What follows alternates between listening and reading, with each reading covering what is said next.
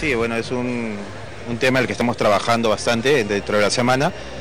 Eh, si revisas los partidos, las estadísticas de los partidos, nosotros tenemos muchos remates, pero sin embargo no, no definimos. Algo que adolecemos no de este año, del año pasado. Pero este año estamos trabajando en eso y creo que se, se viene viendo los frutos del trabajo que hacemos durante la semana con el profesor Wilfredo Raucana.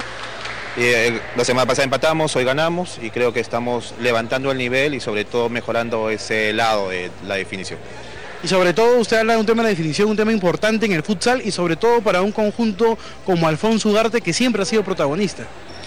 Así es, eh, creo que todos los años venimos siendo protagonistas, tengo un equipo humano muy competitivo, pero como le vuelvo a repetir, el trabajo de, la definición es importante para lograr los triunfos.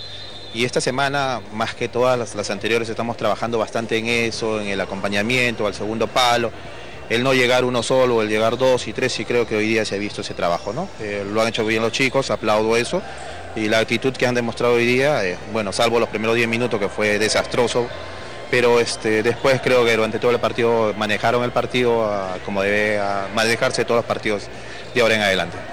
Sí, y recuerdo, profesor Monge, que hace algunos años atrás usted trajo aquí al futsal a la División de Honor al Piojo Aguilar, jugador que bueno, ha sido importante en la selección, bueno, él ya no está en el equipo, pero ahora saca a relucir otra figura, como es Brandon Alanya, jugador de apenas 21 años, que ha sido convocado a la selección de mayores.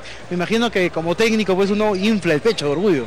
Bueno, sí, halagado, halagado, porque el trabajo se viene viendo reconocido por ese lado. Este, como ya dijiste, estuvo el Piojo Aguilar, estuvo en la selección, se quedó en la selección, es un chico también de 22 años. Ahora lo llaman a Brandon Alanya, este, bastante contento, ¿no? porque el trabajo que viene realizando con nosotros hace dos años atrás se está viendo el esfuerzo, todo y recompensado sobre todo ahora ¿no? en la convocatoria que he tenido. Estoy seguro, el chico tiene muy buenas actitudes, va a aprender más, es bastante eh, elogiante el hecho de que a los 21 años ya se haya convocado y bueno, vamos a ver hasta dónde puede sumar el chico de la selección. Para terminar, profesor, la última, sé que en lista hay jugadores que podrían llegar para la clausura. ¿Esto es cierto?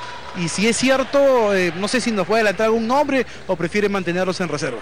Bueno, estamos barajando algunos nombres, pero no son conocidos.